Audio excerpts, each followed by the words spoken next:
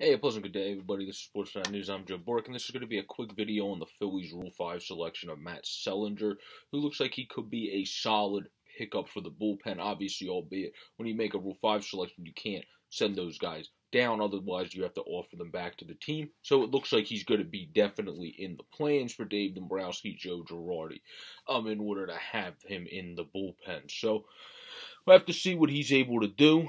Um, thus far in his career, it's been a little bit inconsistent for him as a whole. Um, when it comes to um, last season, he struggled in 2019.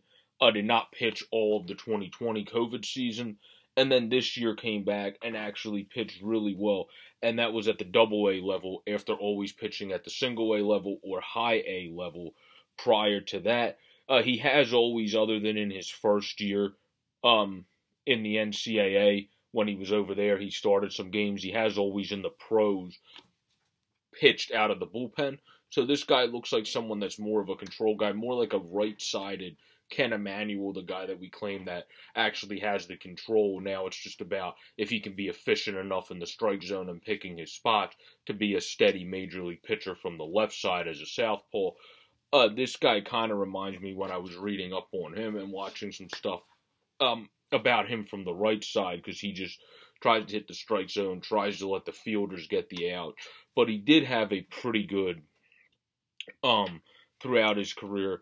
His K rate is not bad. Um, when you look at his, let's pick it up uh, here.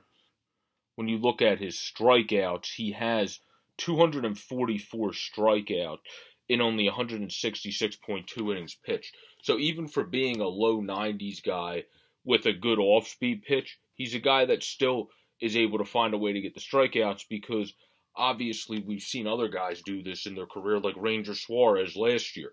Just found the way to locate his pitches to get the outs and get the punch out. You don't have to have the fire blow by him stuff if you can just perfectly locate your pitches.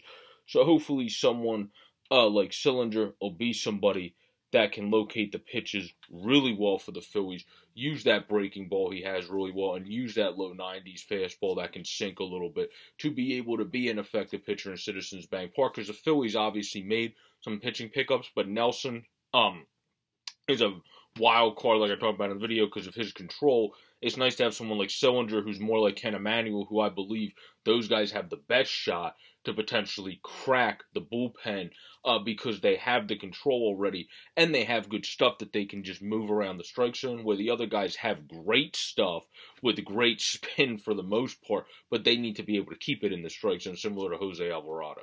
But everybody have a great, safe, and pleasant day. This has just been a quick video on Matt Seelinger getting picked up in the Rule 5 draft, adding more bullpen depth to the team as Dave Dombrowski, even mid lockout, makes some good moves. Obviously, getting Darian Gutierrez that I did a video on before, and I'm going to link at the end of this if you want to check it out.